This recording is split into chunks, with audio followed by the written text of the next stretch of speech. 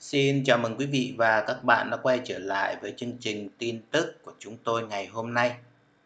Kính thưa quý vị và các bạn thân mến, cặp đôi hoàn hảo sân bay Tân Sơn Nhất và sân bay Long Thành giờ ra sao? Một bài viết của blogger Phạm Chi Dũng. Bài viết được đăng trên trang cộng hòa thời báo.com.au.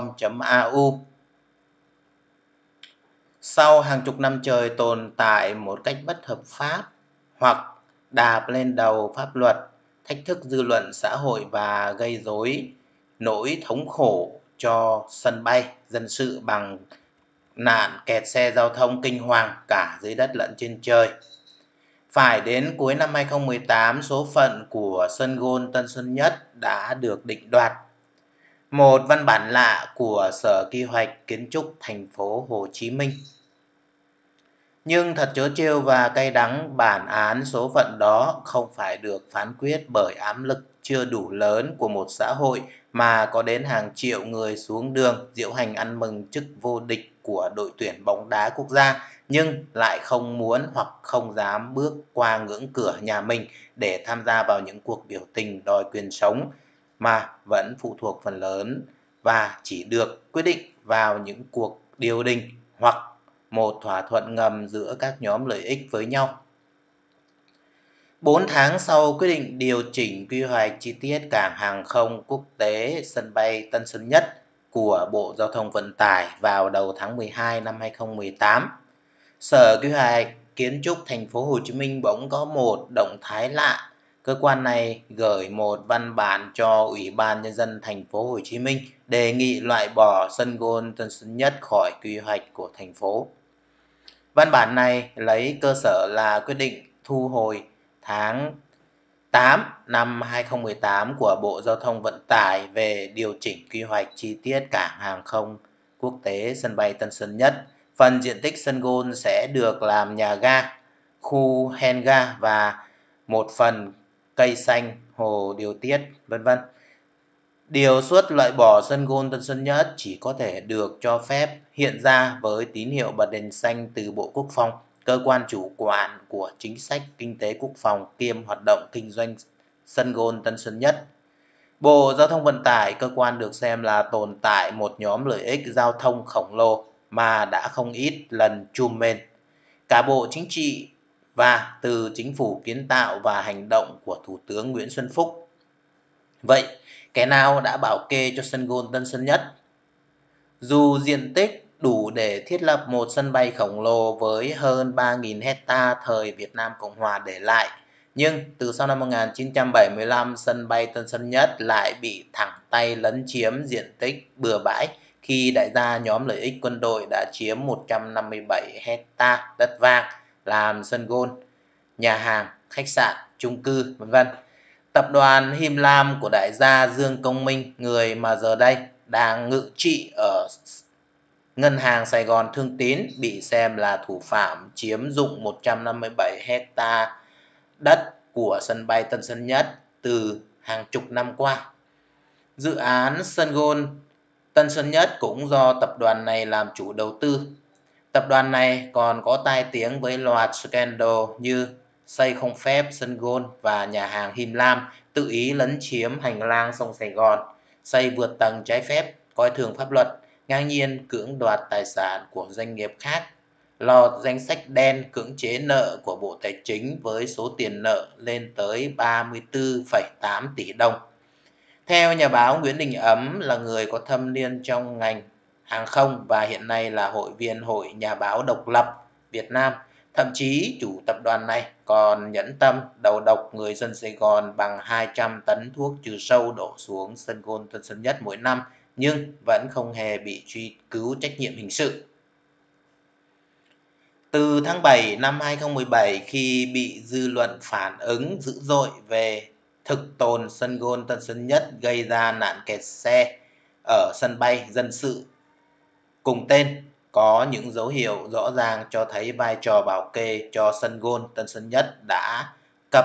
đã cấp tập được chuyển từ một số quan chức Bộ Quốc phòng sang một số quan chức Bộ Giao thông Vận tải. Bộ trưởng Giao thông Vận tải vào thời đó là ông Trương Quang Nghĩa, hiện là bí thư Đà Nẵng. Sau khi bí thư cũ Nguyễn Xuân Anh bị văng sau cuộc đấu đá sinh tử thất bại với Huỳnh Đức Thơ, chủ tịch thành phố này và được xem là người thân của Thủ tướng Nguyễn Xuân Phúc. Trương Quang Nghĩa là quan chức khư khư giữ quan điểm chỉ mở rộng sân bay Tân Sơn Nhất về phía Nam, tức toàn bộ các khu dân cư của các quận Gò Vấp, Phú Nhuận, Tân Bình và cả công viên Gia Định, một trong hiếm hoi lá phổi xanh cuối cùng của Sài Gòn, mà không phải là phía Bắc, nơi ngự trị của sân gôn Tân Sơn Nhất. Trương Quang Nghĩa cũng là người bị nghi ngờ lớn về mối quan hệ chằng chịt và sâu đậm với nhóm lợi ích ODA và giao thông ở Bộ Giao thông Vận tải. Từ năm 2017 đến nay, đường vào sân bay Tân Sơn Nhất đang trở nên nỗi kinh hoàng với tất cả hành khách. Rất nhiều lần, tuyến chính dẫn vào sân bay là đường Trường Sơn cùng các đường nhánh bị kẹt suốt 3 đến 4 tiếng đồng hồ, khiến nhiều khách phải bỏ chạy, bỏ xe hơi, ôm hành lý chạy bộ vội vào ga phi trường để khỏi lỡ chuyến bay. Vào đầu năm 2018, trước bầu không khí búa rìu dư luận ngày càng sắc bén và nguy hiểm tới chính trị, ông Trương Công Nghĩa có thể đã phải một phải chấp nhận một lựa chọn một giải pháp tình thế là xin trung ương cho chuyển về Đà Nẵng làm bí thư thành ủy như một cách hạ cánh an toàn. Nhưng thay thế ông Nghĩa lại là một nhân vật mà đã gây tai tiếng đủ lớn về nạn bảo kê BOT. Chỉ vài tháng sau khi nhậm chức Bộ trưởng Giao thông Vận tải, ông Nguyễn Văn Thể. Cùng lúc với việc để mặc cho các trạm BOT thao hồ hút máu lái xe và doanh nghiệp mà đã khiến gây ra một phong trào phản đối rộng khắp từ Bắc chí Nam.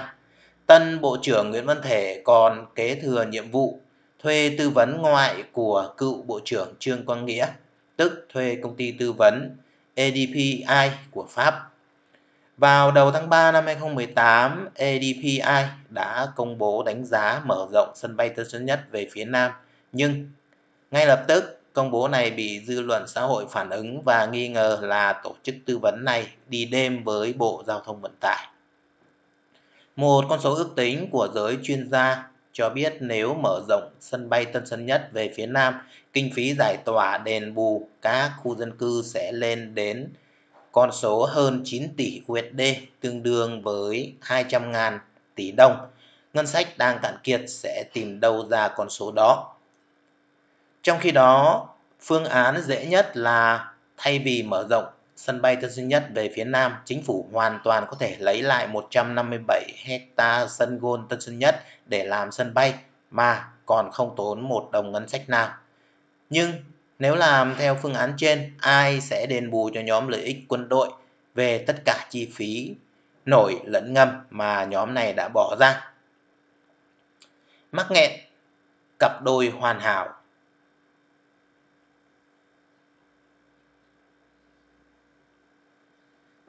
Hai sân bay Tân Sơn Nhất và Long Thành có một mối tham duyên sâu kín. Không phải bỗng dưng mà từ năm 2015 các nhóm lợi ích ODA, giao thông và chính sách đã hiệp đồng tác chiến một cách bài bản trên hai mặt trận thủ tục hành chính và truyền thông nhằm tống tiễn càng nhanh càng tốt điểm sân bay Tân Sơn Nhất về Long Thành như mô hình cặp đôi hoàn hảo. Trong thâm ý lẫn tham ý của các nhóm lợi ích, Dự án sân bay Long Thành không chỉ nhằm nuốt gọn 18 tỷ USD đầu tư với phần lớn trong số đó dự kiến là vốn vay ODA mà còn được khuếch trương tính tầm cỡ khu vực châu Á của nó để giúp giới quan chức đang kẹt hàng có điều kiện bán đất giá cao. Trước đây, vào thời của Thủ tướng Nguyễn Xuân Phúc, xin lỗi các bạn, vào thời của Thủ tướng Nguyễn Tấn Dũng và vào lúc ODA vẫn còn được giới quan chức tham nhũng Việt xem là bò sữa và tiền từ trên trời rơi xuống. Ý được Ý đồ này đã được hoạch định theo chiếu thức vay nguồn ODA ưu đãi để xây dựng sân bay Long Thành, đồng thời đánh lên bất động sản quanh khu vực này để giới quan chức dễ dàng thoát hàng. Một khi đã chuyển được ga hàng không chính về Long Thành, toàn bộ 800 hecta đất vàng của sân bay Tân Sơn Nhất sẽ có thể rơi vào tay nhóm đặc quyền đặc lợi này. Nhưng người tính không bằng trời tính, từ tháng 7 năm 2017, các nguồn vay vốn ODA ưu đãi hầu như đã đóng cửa với Việt Nam. Với các chủ nợ lớn nhất là Ngân hàng Thế giới, Quỹ tiền tệ quốc tế và Ngân hàng Phát triển Á Châu, Việt Nam sẽ phải vay vốn ODA của quốc tế với mặt bằng lãi suất tăng gấp 3 lần trong lúc thời gian ân hạn giảm đi một nửa. Trong tình thế quá khốn khó, chính phủ lại không dám bảo lãnh cho vay nếu những năm trước số bảo lãnh cho vay lên đến 4 đến 5 tỷ USD thì năm 2017 chỉ còn khoảng 700 triệu USD. Với dự toán vẽ của sân bay Long Thành lên tới 18 tỷ USD, cho dù chính phủ có bảo lãnh vay thì quota 700 triệu USD chẳng làm được trò trống gì. Từ năm 2017 đến nay, trong khi nguồn ODA từ quốc tế bị siết lại thì khu vực sân bay Tân Sơn Nhất lại đổ dồn để đến mức kẹt cả dưới đất lẫn trên trời, khiến phát sinh làn sóng bức xúc trong kỳ họp Quốc hội tháng 5 và 6 năm 2017 đòi sân gôn Tân Sơn Nhất phải trả lại 157 hecta cho sân bay cùng tên. Ý đồ thực hiện cặp đôi hoàn hảo của hai nhóm lợi ích ODA và giao thông dành cho hai sân bay Tân Sơn Nhất và Long Thành ngày càng phải đối mặt với nguy cơ phá sản thấy rõ. Chiến dịch rời Tân Sơn Nhất về Long Thành của các nhóm lợi ích cũng bề thế càng thêm đổ bể. Chỉ đến lúc này mới hiện ra một văn bản lạ của Sở Quy hoạch Kiến trúc thành phố Hồ Chí Minh đề nghị loại bỏ sân gôn Tân Sơn Nhất khỏi quy hoạch của thành phố ăn không được thì phải nhả.